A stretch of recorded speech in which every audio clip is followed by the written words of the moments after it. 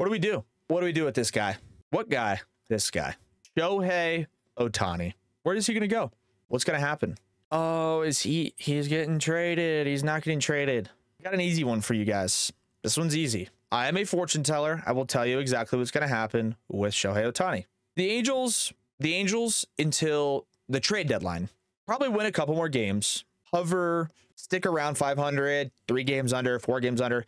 Still not quite enough for them to trade Shohei Ohtani. Not to mention, the asking price is going to be astronomical. They're going to be asking teams for two or three major league talents to two or three guys that are at the MLB level right now, plus four, five, or six of their top 10 prospects.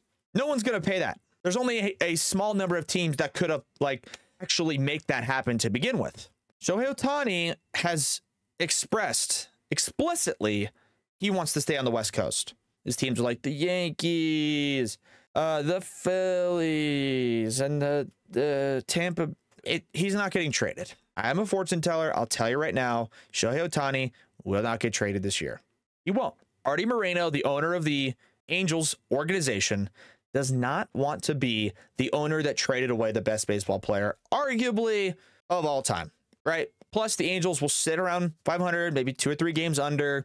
Oh, they're like, we could still, we could still do this thing. Now they're gonna miss the playoffs, and Ohtani won't be in the playoffs, and that'll be enough. He won't even consider a contract extension from the Angels, and the Dodgers will sh- sign Shohei Ohtani because the Dodgers are to lose to the Braves in the NLCS.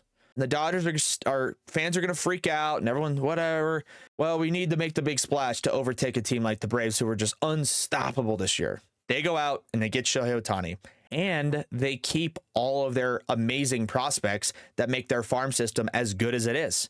Because if there is a trade with Ohtani and the Angels, the only team realistically that I could see pulling it off that Ohtani would be all in for is the Dodgers. The Dodgers could send of their uh, the top 100 prospects, they have nine of them. So they could send six of those guys to the Angels and two big league, you know, service guys and get Ohtani. They could very easily do it. But why would they do that if they already have a great team and Ohtani will become available at no prospect cost in three months from now?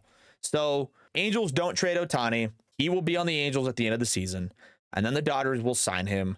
Probably a five, six, seven year deal. Probably an average 48, 50 million a year. It's going to be crazy. Everyone's going to freak out. Shohei gets to stay on the West Coast that he so very much loves. Quicker flight to Japan when he does end up going home. Dodgers getting Ohtani in the offseason as a free agent. But he ain't getting traded. I'll tell you that right now. He is not getting traded.